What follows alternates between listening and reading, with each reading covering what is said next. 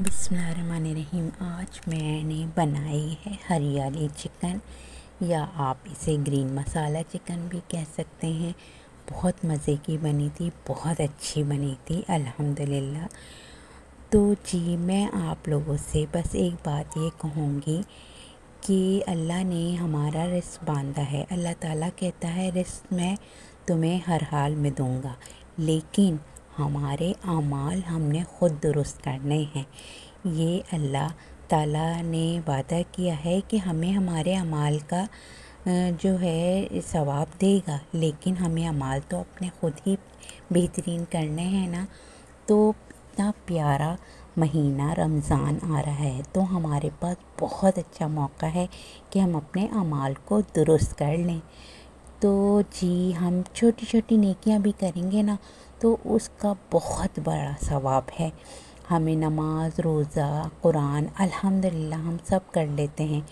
तो अल्लाह ताला के जो प्यारे से बंदे हैं ना, उनके साथ छोटी छोटी नेकियाँ ज़रूर करें आप।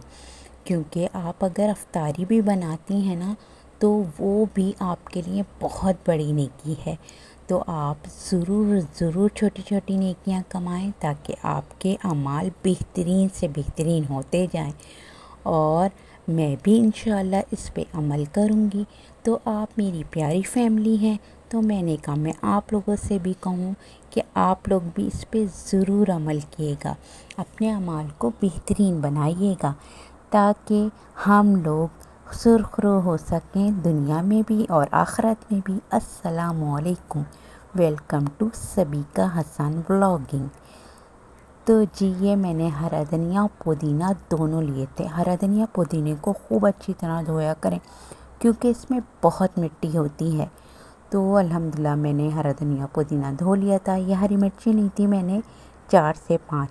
अगर आप ज़्यादा मिर्ची खाते हैं तो ज़्यादा डाल लीजिएगा और ये मैंने बादाम लिए थे पच्चीस से तीस। इसको कूट के इसमें डाल दिया था और ये मैंने प्याज ली थी तल के। तीन से चार अदद दरमियानी प्याज ले ली थी और फिर मैंने जी जीन सबको पीस लिया था और मैंने इसमें लहसुन अदरक डाला था ऑयल में और इसे अच्छी तरह से भून लिया था ताकि अच्छी सी, अच्छी प्यारी प्यारी सी इसमें खुशबू आ जाए। और जब इसमें प्यारी से खुशबू आई थी, फिर मैंने इसमें लस चिकन डाली थी, वन के जी और चिकन को भी इतना भूना था ताकि इसका बेहतरीन सा कलर चेंज हो जाए। और जी, ये देखिए मैं भून रही हूँ क्योंकि इन चीज़ों को भूनना बहुत ज़रूरी होता है ताकि इसका कच्चापन भी निकल जाए। ये देखें, इसका कलर चेंज हो गया है। अब मैंने इसमें वन टीस्पून हल्दी डाल दी थी वन टीस्पून हल्दी डाल के इसको अच्छी तरह मिलाया था ताकि चिकन में अच्छी तरह से हल्दी लग जाए और हल्दी की स्मेल भी निकल जाए। हल्दी को थोड़ा भूनना लाजमी होता है। फिर इसमें मैंने नमक डाला था। अपने जायके के मुताबिक नमक डाल लिएगा और नमक तो वैसे ही हमारी रेसिपी में खाने में बहुत अहम होता है। अगर कम हो जाए तो खाने का मज़ा अजीब हो जाता है और ज़्यादा हो जाए फिर तो रेसिपी में बहुत बुरा जायका होता है। और जी, ये फिर मैंने दही डाला था एक पाव और इसको खूब अच्छी तरह भूना था, ताकि इसका जितना भी पानी हो, उसका काफ़ी हद तक पानी जो है, वो खुश्क हो जाए। और ये देखें, इसमें बस थोड़ा सा पानी रह गया था। इस वक्त मैंने ये जो मसाला आपको बताया था ना ग्रीन मसाला वो जो पीसा था, वो सब इसमें डाल दिया था। और ये मसाला इसमें डाल के मैंने इसे खूब अच्छी तरह भुना था। और जब इसे भून लिया था मैंने, क्योंकि इसमें देखें, लाल मिर्च बिल्कुल नहीं पड़ती। ये देखें, ये मेरा मसाला खूब मज़ेदार सा भुन गया है। और फिर मैंने वन टेबल स्पून ये भुना, भून के कूट के ज़ीरा डाला था। वन टीस्पून काली मिर्च ली थी। वन टीस्पून पिसा गरम मसाला लिया था। और मैं तो वैसे घर में ज़्यादातर गरम मसाला पीसती हूँ।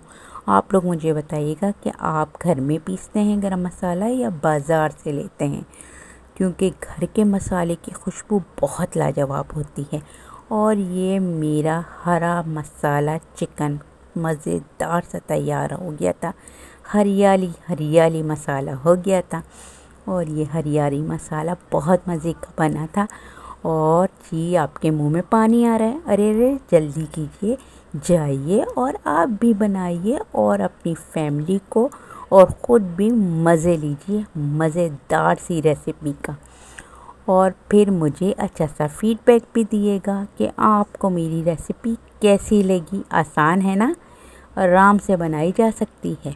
और आप मुझे बताइएगा कि आप लोगों को कितना मज़ा आया इस रेसिपी को बना के। और जी, इस रेसिपी पे मुझे सब्सक्राइब भी कर दीजिएगा, क्योंकि और जी, मेरी इस वीडियो को स्किप नहीं कीजिएगा प्लीज़ प्लीज़ और मुझे लाइक भी कर दीजिएगा, ताकि मैं खुश हो जाऊँ कि मेरी वीडियो पे ज़्यादा से ज़्यादा लाइक आ गए।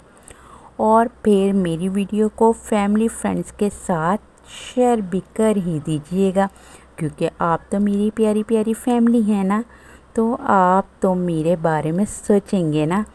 और जी, मैं आप लोगों की वैसे भी दिल से मशहूर हूँ कि आप लोग मुझसे इतनी मोहब्बत करते हैं, आप लोग मेरी रेसिपी को इतने शौक़ से देखते हैं। और इसीलिए, और मेरी भी दिल से दुआ है कि आप लोग हमेशा खुश खुर्रम रहें। और जी कामयाब रहें। अल्लाह आपके रिस्क में इजाफ़ा करे। अल्लाह हाफिज़।